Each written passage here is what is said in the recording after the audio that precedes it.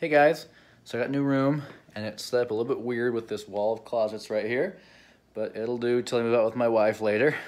Uh, but I wanted to talk about today something I learned at the Ed Center last week um, that would have saved me $1,200. So stay tuned if you would also like to learn how to save $1,200 during basic, and uh, I'll let you know.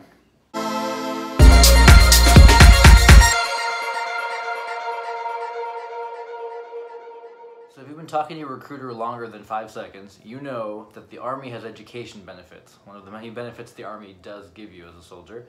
And there are two kinds of bills. We have the GI Montgomery Bill and we have the post 9-11 GI Bill. The GI Montgomery Bill, of course, was passed during World War II as a benefit to the, all the returning soldiers from the war. And the post 9-11 bill was passed in 2008, came into effect 2009, and was just kind of an updated bill um, covering all the flaws of the GI Montgomery bill.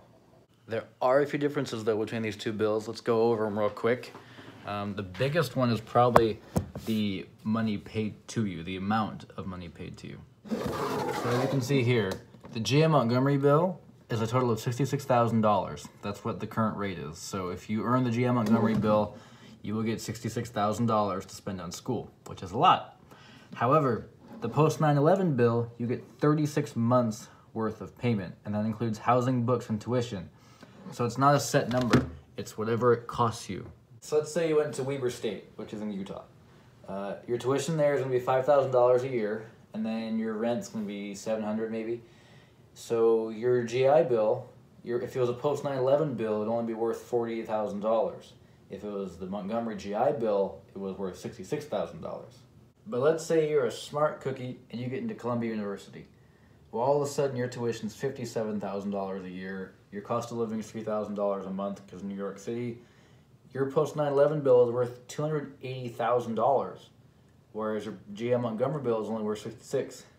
So in that respect, the two bills are very different.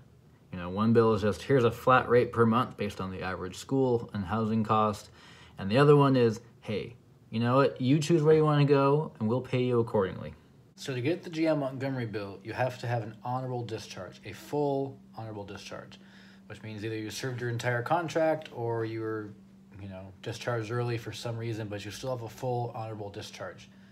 And if your contract's under three years, then you have to serve at least two years, but otherwise, you have to serve at least three years of active service to get the Montgomery bill. And then you also have to pay that $100 a month for 12 months. So that's where the $1,200 left my paycheck. I'll be paying that, you know, for the remainder of the 12 months, every month $100 from out my check. So that's a little bit uh, sucky there. So it's a little bit different for the post 9/11 bill. You still have to have an honorable discharge, um, you know, so full honorable discharge, nothing less than that.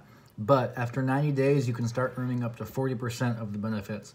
And it goes up from there until you reach 36 months, at which point you get 100% of the benefits for the post 9 11 bill.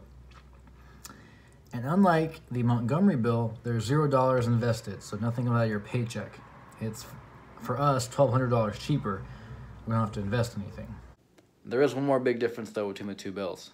The GM Montgomery bill is for you as a soldier, so you can use it. That's what it's for, to study. But the post 9 11 bill is transferable, meaning after 10 years of service, I could transfer it to any of my dependents, or you could transfer any of your dependents. And that's pretty cool. So your, your kids could go study on your you know post 9 11 bill. But here's the thing when you're in basic, they don't tell you these things, they just sign you up for stuff. So I'm sitting there in basic, right? and they come up to me, you know, and they ask me, Hey there, young man, do you want the education benefits? And of course, I'm like, I mean, yeah, who doesn't, right? Okay, sure. Well, it's going to cost you a hundred bucks a month for the next 12 months. And I'm sitting there like, I mean, it sounds like a lot of money, but it's for my future, right? So I guess I don't have a choice. But you know something? I did have a choice because what they didn't tell me is that you don't have to sign up for the John Montgomery bill. You can say, no, thanks, I'm good. I want to go for the post 9 11 bill. I want the John Montgomery bill. And then they don't take the money out of your paycheck because really, 1200 bucks is kind of a lot of money, you know? That's like three Nintendo Switches or a nice skiing pass. I guess what I'm saying is, if you're just gonna go for the post 9 11 bill anyway, I don't know why you want to pay an extra 1200 bucks just to not get the GM Montgomery bill. You know, like if you're gonna go for the post 9/11 bill, just go for the post 9/11 bill. Don't pay the government an extra 1,200 bucks just because, because you don't have to. You don't have to pay 1,200 bucks. So you know, just some advice from me. Um, if you're gonna go for the post 9/11 bill, reject the GM Montgomery bill. If you're not sure, you know, I would definitely look into the two. I mean, you can get booklets describing both and you know you might want to do some research first because once you reject the GM Montgomery bill, you can't get it back. You just have to wait for post 9/11. Um, but in my opinion, I think post 9/11 works better for everybody anyway. So, you know, and if you're reserve or national guard, I honestly don't know too much about how it works because you know getting your active service is different. So I would look into it more as well. But that was just my experience with the GM Montgomery bill so far and basic training. Uh, you know, I have lost $1,200 essentially.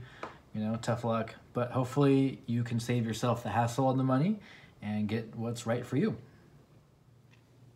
Hey guys, thanks for watching. And uh, please subscribe to the channel so you can see all my future videos I put up. To try to put up more videos now that I'm out of phase four and am able to use a computer, especially once I move into the new house. I should have a lot more time to edit. Uh, but please also tell me what you want to see. You know, I'm not able to answer everything because I don't know everything, but also, you know, I'm not allowed to talk about certain things. But please let me know what you'd like to see, and I'll try to make a video about that topic for you. Thanks for watching, and have a good day. Bye.